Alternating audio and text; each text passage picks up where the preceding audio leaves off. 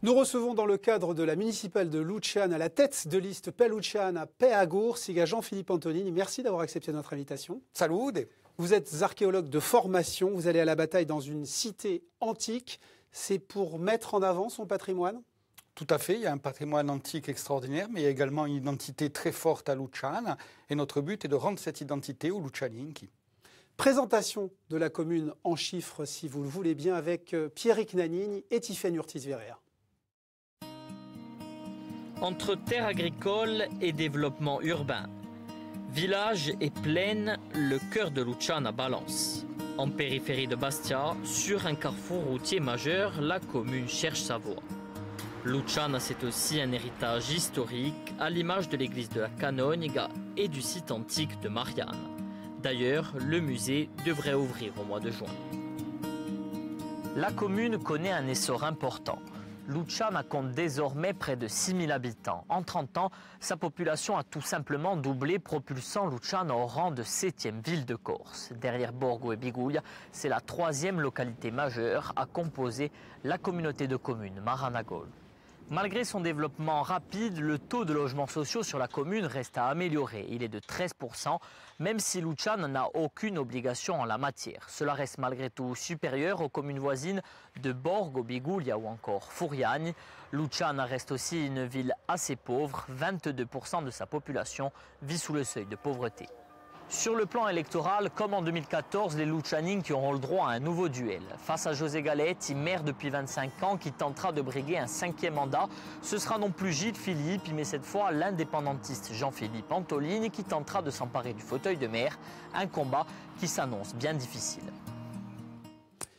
Dans votre démarche, Jean-Philippe Antolini, vous êtes soutenu par Corsica Libre et le PNC. En face de vous, un sortant, José Galetti, élu depuis un quart de siècle. Il y aura sur sa liste, a priori, euh, des nationalistes. C'est un vrai défi. Euh, tout à fait. Euh, je ne sais pas quelle sera son étiquette politique car elle est extrêmement modulable. Élu de droite, soutien de Jacob et maintenant nationaliste. Il a échangé l'écharpe tricolore contre l'écharpe à Testamor apparemment. on le disait, José Galette est élu depuis un quart de siècle. Vous tablez sur une volonté de dégagisme? Je pense qu'il y a une très forte volonté au sein des habitants de Luchan de changer les choses et d'avoir un maire qui finalement fasse enfin quelque chose pour eux. Euh, les habitants attendaient autre chose qu'une mairie à 8 millions d'euros. Ils attendaient des places de crèche, ils attendaient qu'on rénove leurs écoles, qu'on les équipe en équipement sportif. Ce n'est pas le cas. Il n'y a eu aucune anticipation malgré l'augmentation de la population. Fois deux en 30 ans. Tout à fait, augmentation de la population x2, mais aucune anticipation de la part de la mairie, aucune anticipation pour les inondations par exemple. Aujourd'hui, je pense que les gens attendent un maire et une équipe municipale responsable qui puissent anticiper et qui puissent améliorer la vie des habitants de Luchan. Le musée va ouvrir en juin autour de la Cadonne, il y a des fouilles de, de Marianne.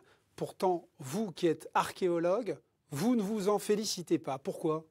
Parce que c'est un musée tel qu'il est fait, qui, va, qui est un musée municipal, qui va ruiner la commune s'il ne passe pas très rapidement sous la collectivité de Corse. Tout le monde sait que les musées ne sont pas là pour gagner de l'argent. Nous, nous proposons... Vous ne croyez pas à l'attrait touristique autour d'un musée?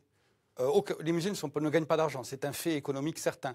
Par contre, ce qui aurait pu gagner de l'argent et ce qui gagnera de l'argent si nous arrivons aux responsabilités, c'est que nous, nous allons créer un parc d'animation en liaison avec ce musée, en faisant fouiller par des archéologues corses, en formant des archéologues corses et en permettant aux gens d'avoir accès au chantier, au public, nous allons fouiller et ensuite nous allons mettre en place un parc d'animation avec des gens qui seront payés pour vivre à la mode romaine. Et les parcs d'animation sont vecteurs économiques importants et vont redynamiser la région. Euh, vos idées, vous en avez déjà euh, brossé certaines. Il y a la Scolagour, c'est aussi des jardins partagés. Euh, c'est pourquoi faire tout ça? Pour donner une identité nouvelle à la commune? Euh, les jardins partagés, c'est pour permettre aux gens de retrouver ce lien très important avec la terre. Ces, jardins partagés nous amèneront à la création d'un marché ouvert plusieurs jours par semaine pour que les habitants puissent avoir accès à des produits sains, de bonne qualité. Et Luciano Ugent ou euh, l'éco-quartier que brosse euh, le maire sortant, ça ne vous agrée pas non plus? Ça donnera pas davantage d'identité? Euh, nous avons un projet qui s'appelle Agenda 21. Nous nous inscrivons dans un Agenda 21 communal.